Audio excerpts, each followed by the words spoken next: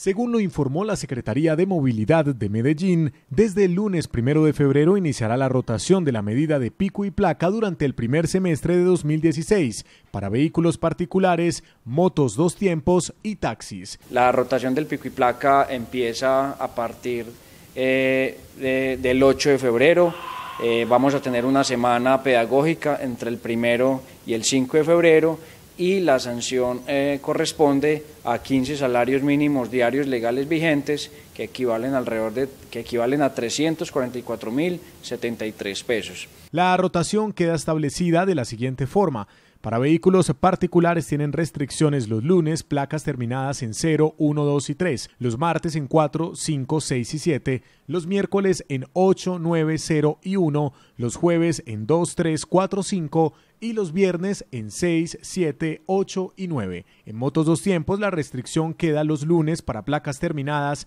en 6 y 7, martes en 8 y 9, miércoles en 0 y 1, jueves en 2 y 3 y viernes en 4 y 5. De acuerdo con esta determinación, la norma rige en un horario de 7 a 8 y 30 de la mañana y de 5 de la tarde a 7 de la noche de lunes a viernes. Para los vehículos de servicio público tipo taxi, el horario es de 6 de la mañana a 8 de la noche, rotando cada dos semanas.